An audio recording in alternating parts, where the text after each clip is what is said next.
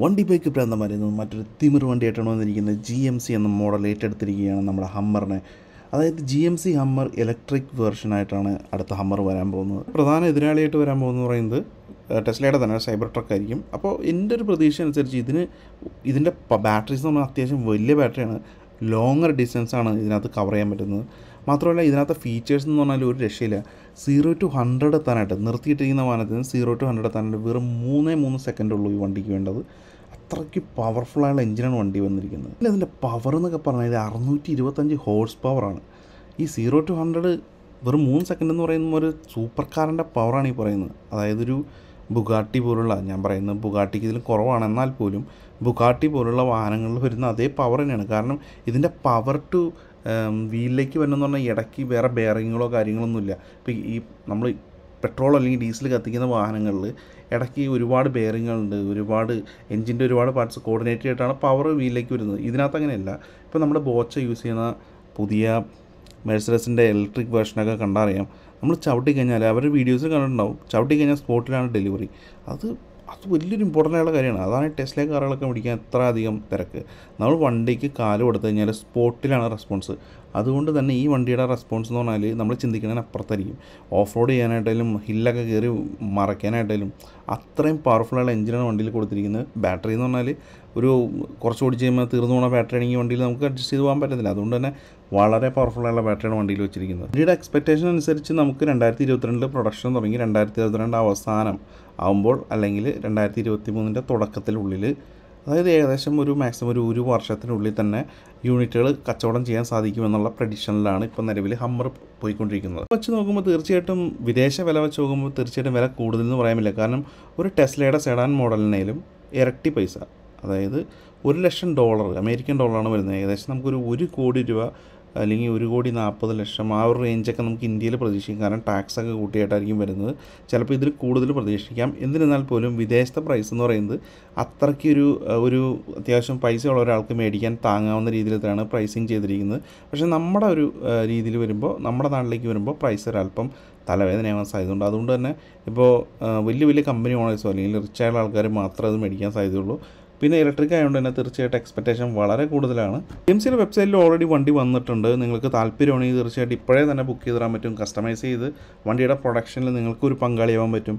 അപ്പോൾ തീർച്ചയായിട്ടും മേടിക്കാൻ ആഗ്രഹിക്കുന്ന ഒരാൾക്ക് ഹൺഡ്രഡ് പെർസെന്റേജ് നമുക്ക് ജി എം സി എന്നുള്ള സപ്പോർട്ട് കിട്ടും. വണ്ടിയുടെ പവർ നമുക്കൊരു ആയിരം ഹോഴ്സ് പവർ വരെ കൂട്ടാൻ പറ്റും കസ്റ്റമൈസ് ചെയ്ത്. അത് മാത്രമല്ല മുന്നൂറ്റമ്പത് മൈൽസ് ഏകദേശം ഒരു അഞ്ഞൂറ് കിലോമീറ്റർ ആണ് നമുക്ക് ഒരു ചാർജിൽ മാക്സിമം കിട്ടുന്ന ഡിസ്റ്റൻസ് ഇതിന്റെ റൂഫ് ടോപ്പ് എന്ന് പറയുന്നത് നമുക്ക് റിമൂവബിൾ ആണ്. കാരണം ഈ റൂഫ് പാനൽസ് റിമൂവ് ചെയ്യുന്നതനുസരിച്ച് നമുക്ക് അത്യാവശ്യം ഇപ്പോൾ നല്ല വെയിലുള്ള സമയത്ത് അത്യാവശ്യം ഷോ ഓഫൊക്കെ നടത്തണമെങ്കിൽ തീർച്ചയായിട്ടും ഈ റൂഫ് പാനലൊക്കെ വെച്ചിട്ട് ചുമ്മാ റോക്ക് ചെയ്ത് പോകാൻ പറ്റും. പ്രത്യേകിച്ച് വിദേശ രാജ്യങ്ങളിൽ ഈ തണുപ്പൊക്കെ കഴിഞ്ഞിട്ട് പിന്നെ വെയിൽ വരുമ്പോൾ ഇവർക്ക് ഒരു ആഘോഷമാണ്. അപ്പോൾ ഈ ജീപ്പിന്റെ ഒക്കെ റൂഫ് പാനലൊക്കെ ഊരി വെച്ചിട്ട് ഒരു ഡ്രൈവ് ചെയ്യുന്നത് വളരെ പൊതുവായിട്ട് നമുക്ക് വീഡിയോസിലൊക്കെ കാണാൻ പറ്റും. പിന്നെ ഒരു കാര്യം എന്ന് പറയുന്നത് ഈ വണ്ടിയുടെ സസ്പെൻഷനൊക്കെ നമുക്ക് അഡ്ജസ്റ്റബിൾ ആണ്. അപ്പോൾ നമുക്ക് ടെറൈൻ അനുസരിച്ച് ഓട്ടോമാറ്റിക്കായിട്ട് നമുക്ക് ഇലക്ട്രിക്കലി അഡ്ജസ്റ്റ് ചെയ്യാൻ പറ്റും. ഇപ്പോൾ ഓഫ് റോഡ് ഓൺ റോഡ് അതുകൊണ്ട് തന്നെ എയർ സസ്പെൻഷനാണ് വരുന്നത്. നല്ല കംഫർട്ടാണ് ഡ്രൈവ് ചെയ്യാനായിട്ട് ഒരു രക്ഷയില്ലാത്ത കംഫർട്ടാണ്. അത് മാത്രമല്ല ഇതിന്റെ ഒരു കൂളായുള്ള ഒരു ഫോർ വീൽ സ്റ്റിയറിംഗ് ഫീച്ചറുണ്ട് അതായത് നമ്മൾ വണ്ടി തിരിയുന്നതനുസരിച്ച് ഒരു ഞണ്ടിനെ പോലെ സൈഡിലോട്ട് ടയറും തിരിഞ്ഞ് നമ്മുടെ ഈ വോൾവോന്റെ ബസ്സിലൊക്കെ കാണുന്ന ഒരു ഇതിൽ അതായത് അത്യാവശ്യം എക്സ്പെൻസീവ് ആയുള്ള വാഹനങ്ങൾ മാത്രം കാണുന്ന ഒരു ഞണ്ടിന്റെ പോലത്തെ മൂവ്മെന്റാണ് ഇതിനകത്ത് വരുന്നത്. ഡ്രൈവ് ഡയഗണലി എന്നുള്ളൊരു രീതിയിലാണ് അവർ പറയുന്നതിനെ പറ്റി അതുകൊണ്ട് തന്നെ നമുക്ക് തീർച്ചയായിട്ടും ഡ്രൈവ് ചെയ്യുമ്പോൾ ഒരു ഇത്രയും വലിപ്പമുള്ള വാഹനം വളരെ ഈസി ആയിട്ട് കൊണ്ടുനടക്കാൻ പറ്റും. പിന്നെ ഡയഗണലി എന്ന് ഉദ്ദേശിക്കുന്നത് അതുമാത്രമല്ല ഇപ്പോൾ നമുക്ക് വീഡിയോയിൽ തന്നെ പല ഭാഗങ്ങളിൽ കാണാൻ പറ്റും. ഓഫ് റോഡ് വന്നു കഴിയുമ്പോൾ വണ്ടി നമുക്ക് ചിലപ്പോൾ ഫ്രണ്ട് തിരിച്ചിട്ട് ബാക്ക് അതിന്റെ ഒപ്പം തന്നെ ഓർഡറിൽ കൊണ്ടുവന്ന് തിരിച്ചെടുക്കുക എന്ന് പറഞ്ഞാൽ ചില സമയത്തൊക്കെ ബുദ്ധിമുട്ടാണ്. അതുകൊണ്ട് തന്നെ ഇതിന്റെ ഒരു ഡയഗണലി ഡ്രൈവ് ചെയ്യാൻ പറ്റും. അതായത് സൈഡിലേക്ക് വണ്ടി ഓട്ടോമാറ്റിക്കായിട്ട് തിരിഞ്ഞു വരും. അതൊരു വലിയൊരു ഫീച്ചർ തന്നെയാണ്.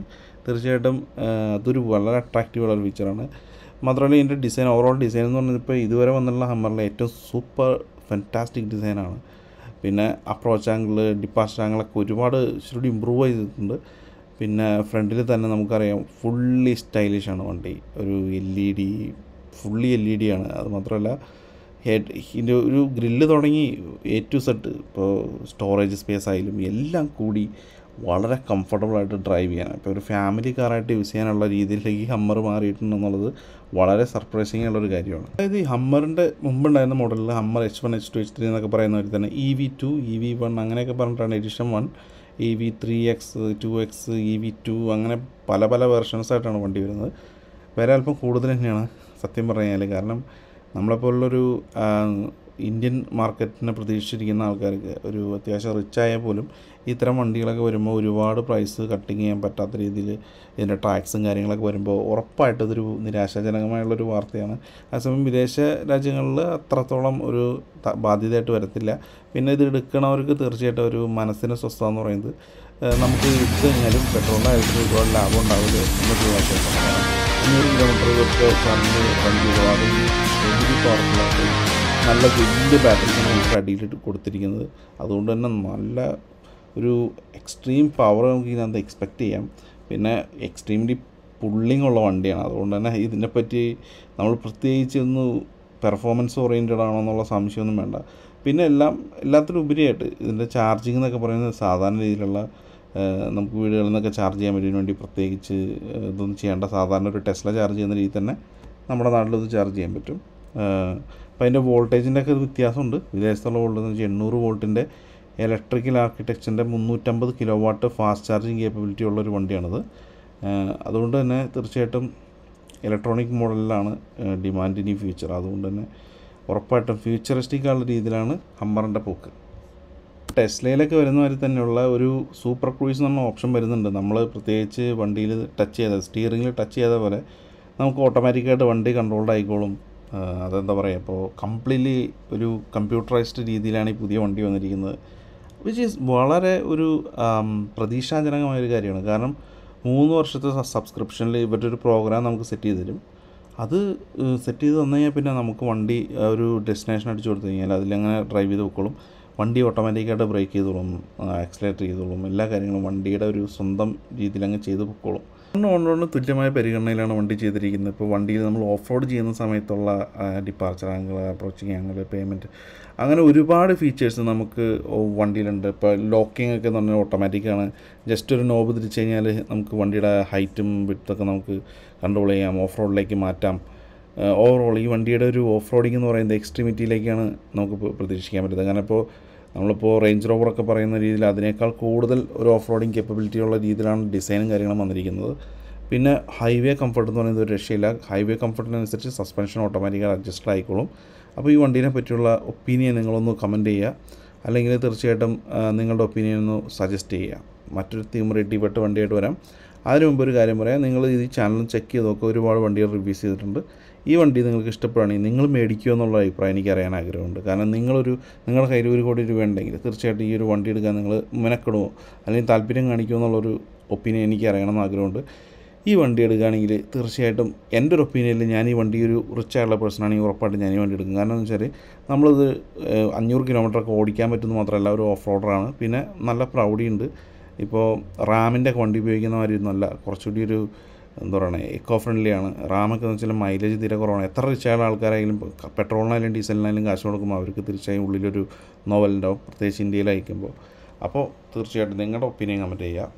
അപ്പോൾ ഹൗ വണ്ടർഫുൾ ഡേ